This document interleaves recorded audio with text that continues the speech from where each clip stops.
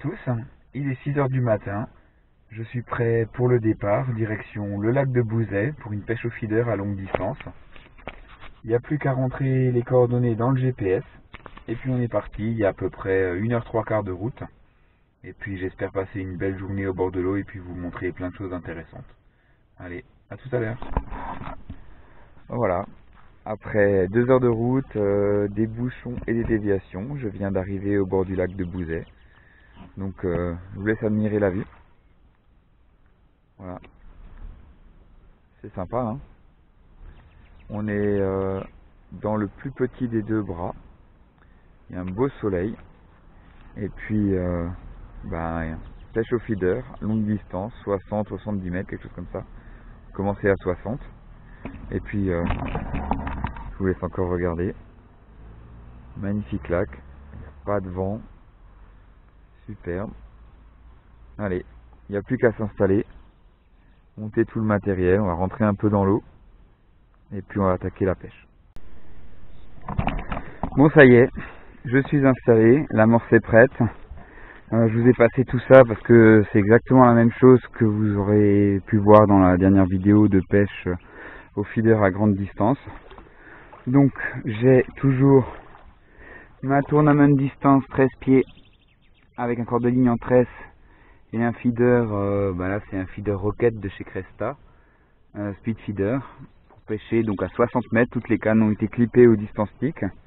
J'ai une canne Milo de 13 pieds avec un hybride gourou de 55 grammes pour pêcher 2 mètres derrière l'amorçage. Et puis j'ai une canne à carpe de 13 pieds, 3 livres et demi pour l'amorçage de départ. Alors, comment ça va se passer aujourd'hui? Alors, ici, comme d'habitude, mon mélange micro-pellet, farine de poisson pour pêcher aux méthodes. Mon amorce noire, toujours la même, avec de la chapelure rouge, un peu de terre, un peu de brasem. Et donc là, j'ai à peu près 2 litres de terre pour faire euh, un tapis de terre au départ, voir ce que ça donne. Asticots congelés, maïs. Dans l'amorce et dans la terre, il y a quelques micro-pelets. Et là, puis j'ai encore des asticots vivants pour mettre à l'hameçon. Et puis je pense que je pêcherai pas mal avec euh, aussi des micro-bouillettes ou des appâts dans ce genre-là. Voilà, donc maintenant c'est parti pour l'amorçage de départ. Euh, je pense une bonne vingtaine de feeders. Je vais essayer de vous filmer ça un petit peu vu depuis la berge. Et après on attaque.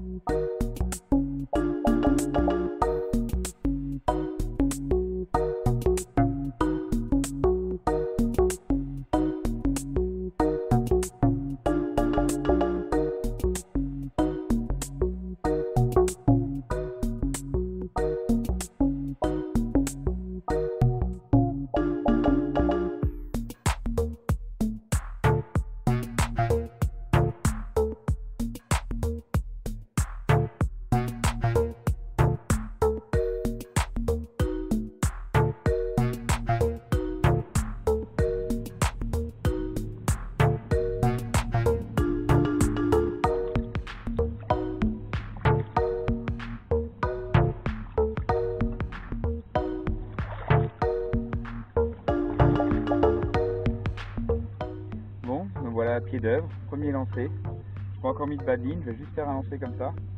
Et puis ensuite, euh, je mettrai un bas de ligne et je commencerai la pêche. Allez, c'est parti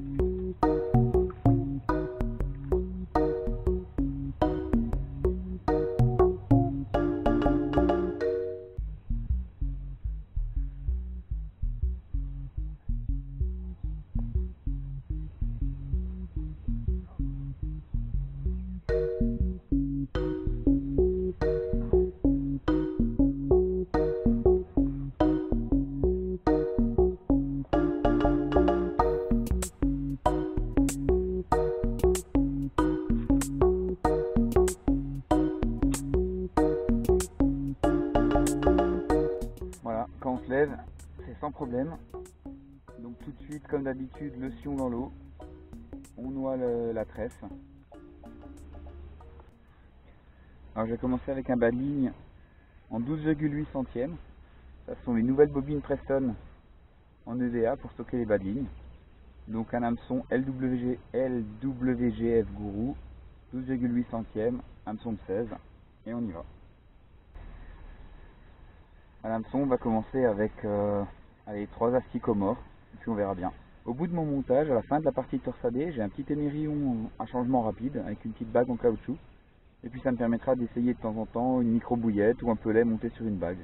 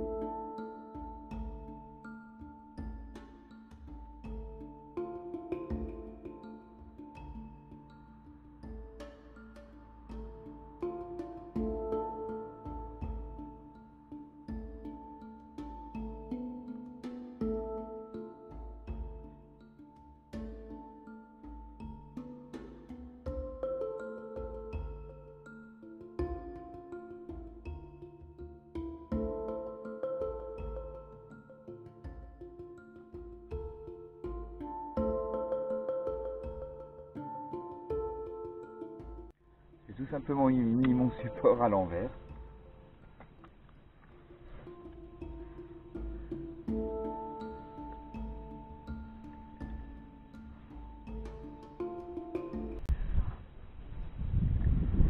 Voilà, une touche directe.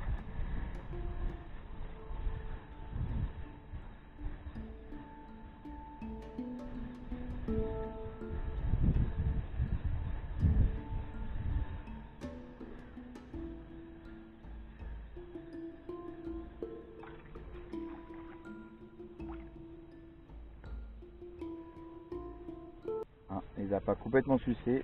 Déjà les brèmes sur le coup.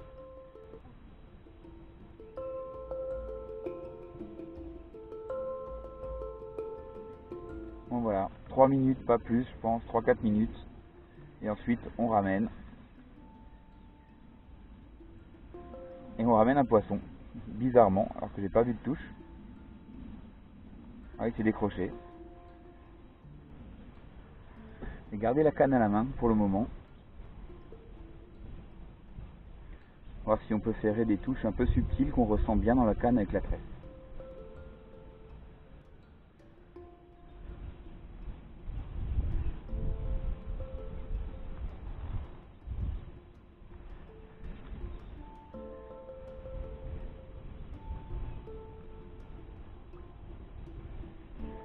encore une fois, j'ai absolument pas vu la touche. Je me retrouve avec un poisson au bout de la ligne.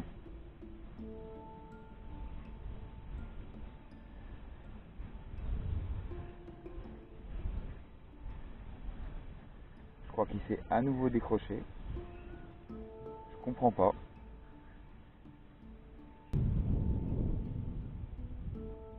Bon, a cassé le bas de ligne sur un coup de tête, je sais pas.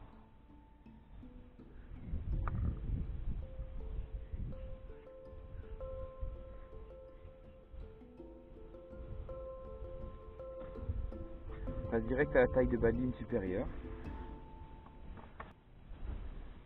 Bon, je vais couper la caméra là pour économiser de la batterie et de la carte mémoire. Et puis je rallumerai ben, une fois que les poissons sont installés sur le coup et puis que ça commence à mordre sérieusement. Je vous tiens au courant.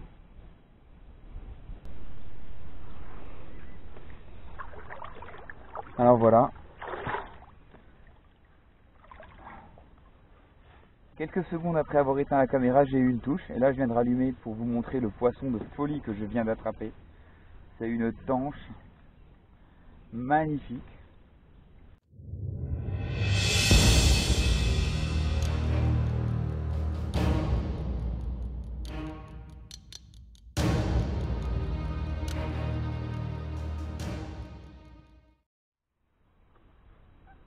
Bon, elle a mis l'hameçon dans le filet de l'épuisette, super.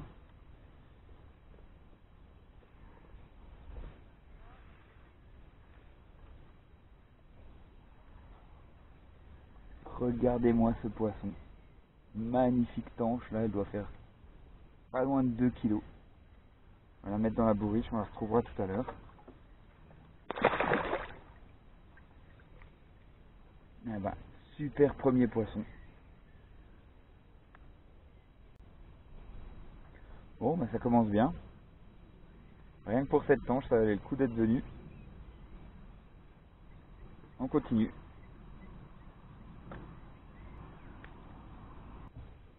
La touche est intervenue juste après une petite tirette, donc même comme ça en grand lac, sur des pêches de gros poissons, c'est important de tirer sur le feeder. Une petite glissette de 30 cm. Très souvent on a une touche assez rapidement derrière. Ah, décidément, faut pas que je coupe la caméra parce que j'ai une touche chaque fois juste après. Donc voilà, deuxième poisson au bout de la ligne. On va essayer de le ramener. On a des gros coups de tête, sûrement une grosse brème je pense.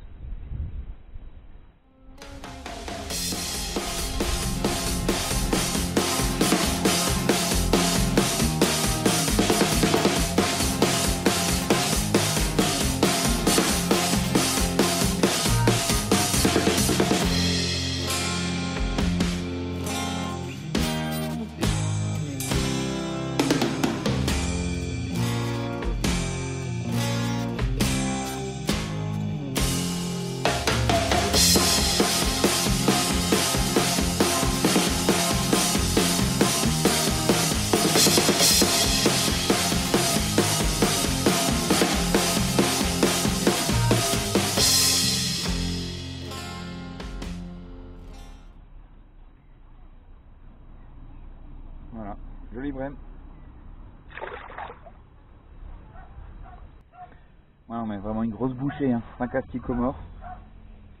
Faut ça. Puis dans le feeder, on charge maïs, asticot mort.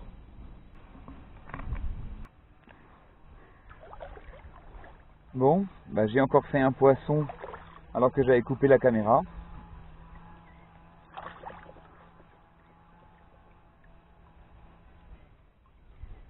Je vais quand même essayer de vous filmer euh, du lancer jusqu'à la mise à l'épuisette, hein, ce serait pas mal.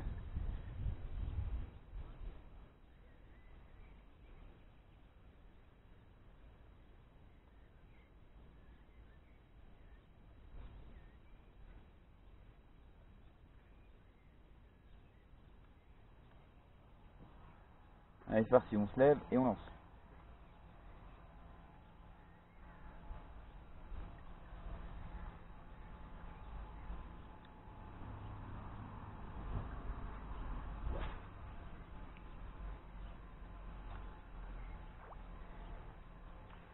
Toujours pareil, la canne tout de suite dans l'eau, on noie toute la tresse avant de mettre sur le support.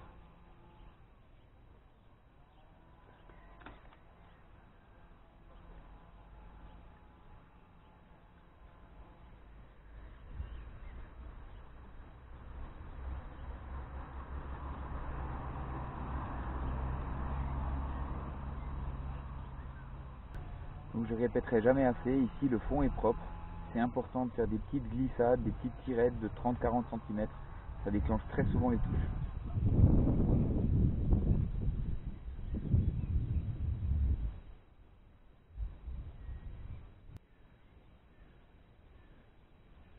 Donc c'est pas la peine de rester très longtemps. Quand il y a comme ça des gros poissons, il faut leur mettre régulièrement des feeders parce qu'ils suivent le feeder qui descend de la surface vers le fond. On a souvent une touche très très rapidement après avoir lancé.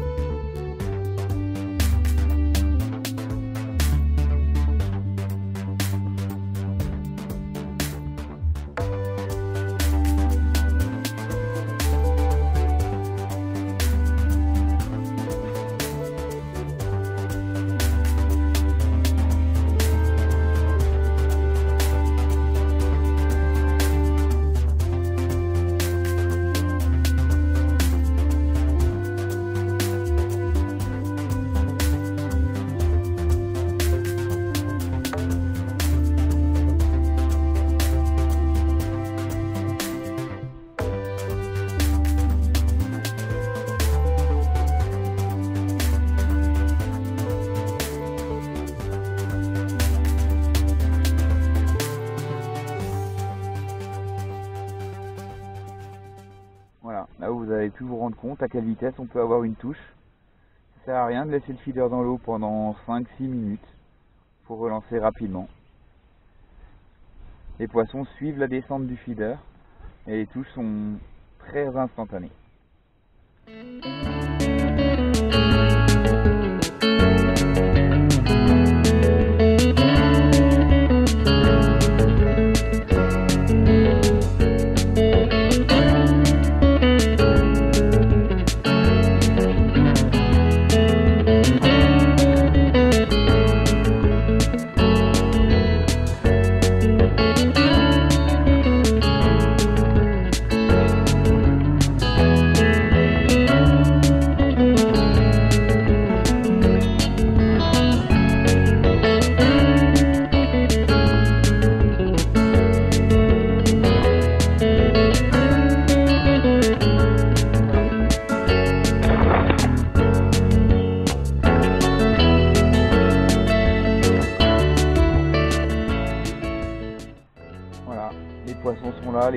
J'ai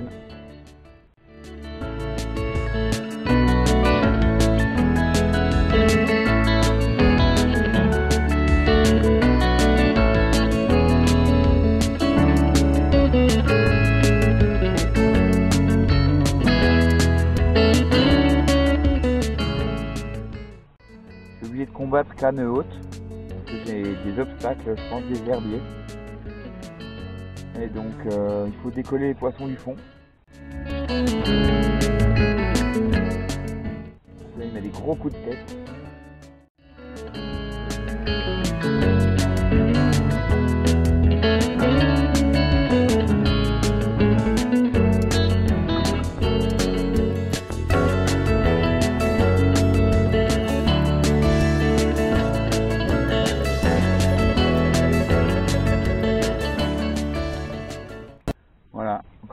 Super beau poisson.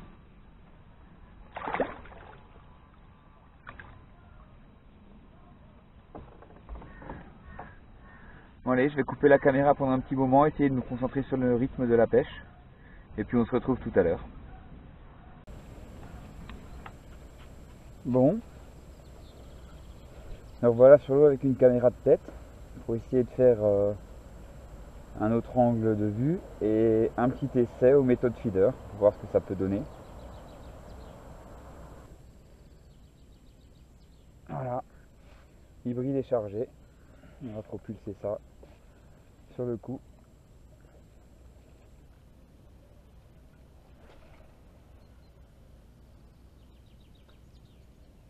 Ça y va largement, largement.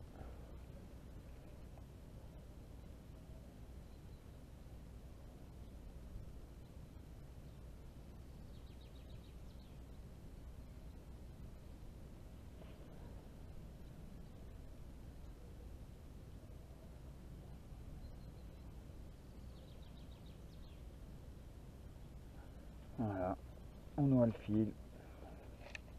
Cette fois-ci, on met la canne sur le support.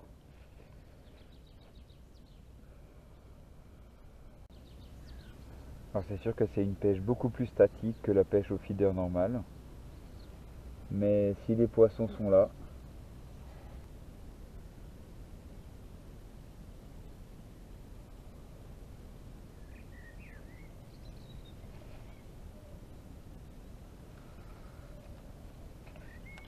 Ah ben voilà, finalement, ça marche aussi aux méthodes.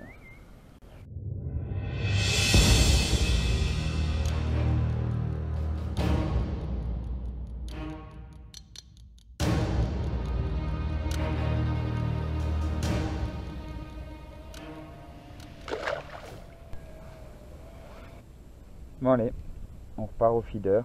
Ça va donner rien de bien, bien folichon aux méthodes. Un poisson, pas très gros. Allez, on retourne au feeder.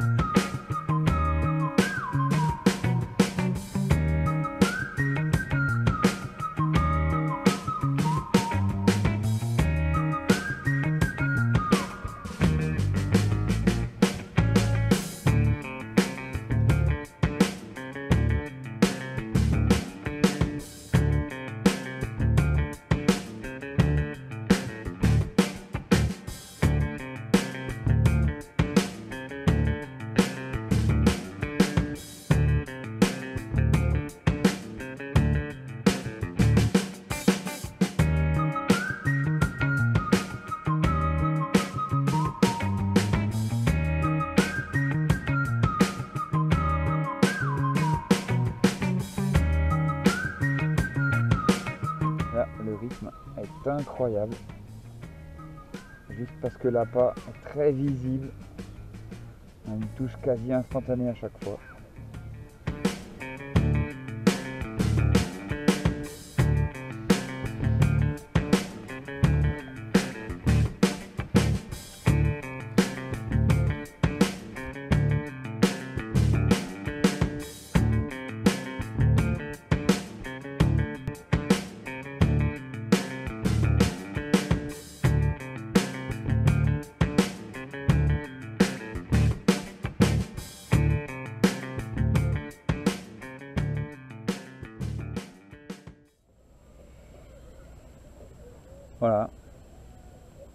Un peu le tournage là, la pluie euh, nous laisse une petite accalmie. C'était vraiment euh, difficile niveau météo, il pleuvait, il pleuvait pas, il y avait du vent, il n'y avait pas de vent. En tout cas, les touches s'enchaînent. Vous pourrez voir à la bourriche finale que ben, il y a du monde dedans. Je suis même pas sûr de pouvoir la soulever. Et euh, voilà, on rajoute encore un poisson. Et comme ils font quasiment tous plus du kilo, ça va être très très lourd au final.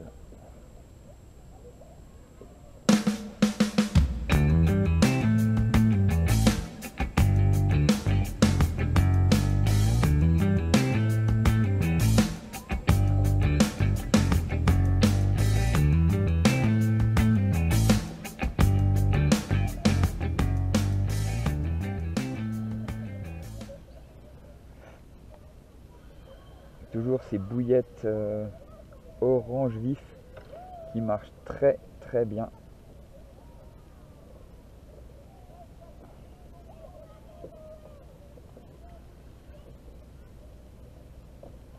Voilà, un très très beau poisson, très grosse brème.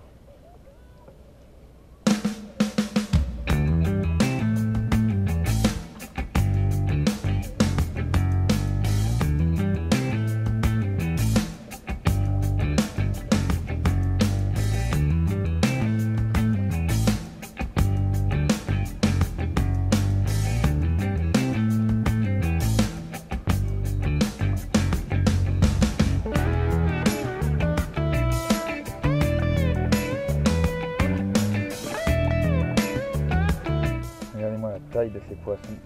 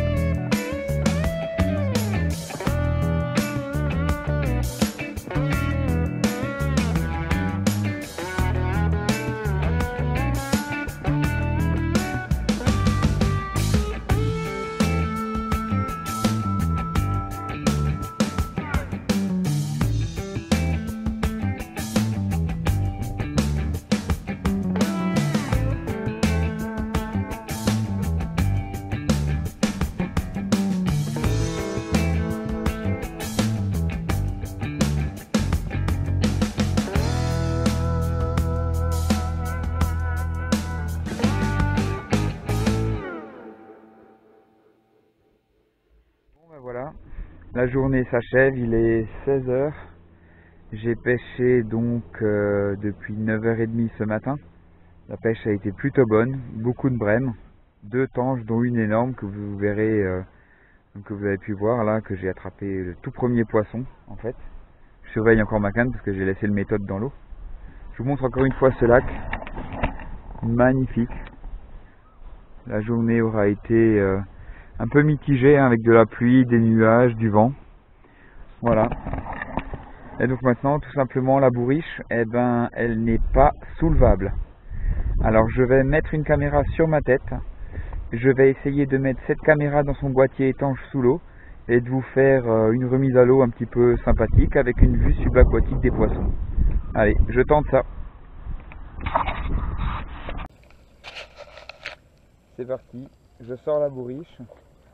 Je vais vous montrer un petit peu ce qu'il y a dedans. Puis on va essayer de s'approcher de la caméra que j'ai mise là-bas dans l'eau.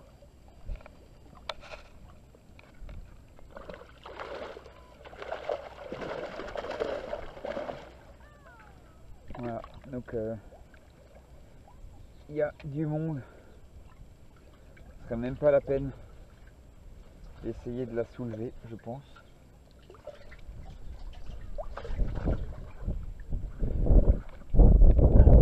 Voilà,